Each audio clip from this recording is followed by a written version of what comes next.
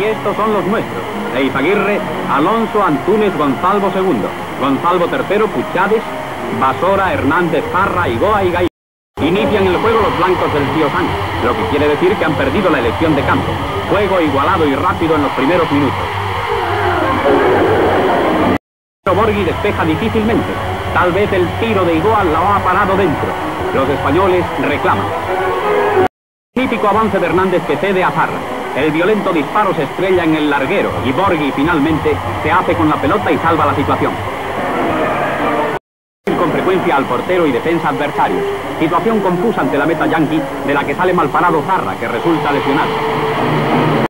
Hernández le da una carga violenta y le envía a la red. El gol es anulado. Un encuentro que tan fácilmente se consideraba ganado de antemano.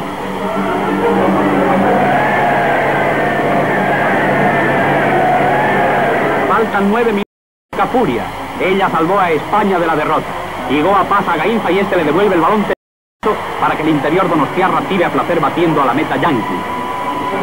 38 minutos. Gainza avanza rapidísimo por su ala. Cede a Hernández y este sin parar a Basora, quien a toda velocidad incrusta el balón en las mallas. Magnífico segundo gol de España que devuelve la tranquilidad a nuestras filas.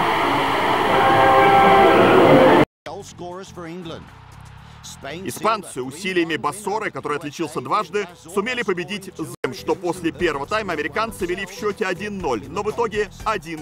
España 3, Estados Unidos 1.